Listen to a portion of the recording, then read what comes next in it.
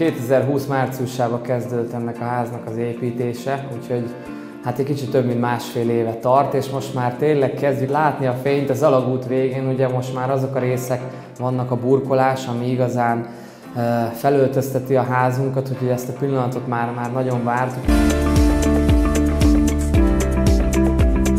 Belső építéssel terveztettünk meg mindent. Mielőtt belevágtam az építkezésbe, tudtam, hogy ez egy nagyon nagy vállalás, egy nagy feladat, és én ugye versenyre, olimpiára készültem, és nem akartam, hogy ez nagyon sok időmet és energiámat elvegye, ezért egy nagyon jó csapatot sikerült ezen a téren is kiválasztanom. Ők tervezték az egész épületet, és a belső építészeti terveket is ők csinálták. Ajánlották ezeket a nagy lapokat, amik nekünk már az elején is nagyon-nagyon tetszettek.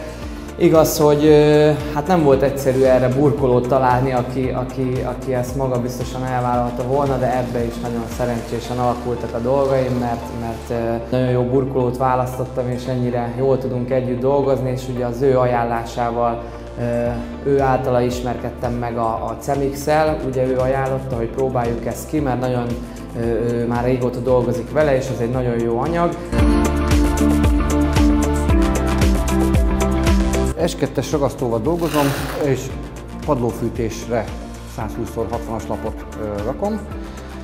Üvegszál erősített ragasztó, amit mindenkinek ajánlok. Teraszokra, padlófűtésre, nagylapokhoz.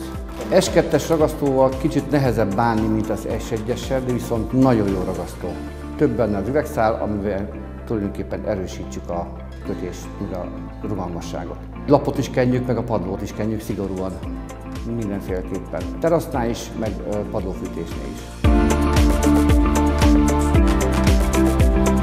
Kiválasztottuk minden csempéhez a megfelelő fugaszint, nagyon nagy volt a választék, úgyhogy ez megnehezítette egy kicsit a feladatunkat, de szerintem, szerintem mindenhova maximálisan a megfelelőt választottuk, és ami még nagyon fontos, hogy ugye a külső burkolásnál is a Cemix ragasztóit használtuk, ami, ami azért egy megnyugvást ad számunkra, mert tényleg nagyon jókat hallottunk erről az anyagról, hogy egy nagyon erős és strapabíró, úgyhogy én nagyon bízom benne, hogy, hogy megfelelően fog itt minden alakulni a jövőben.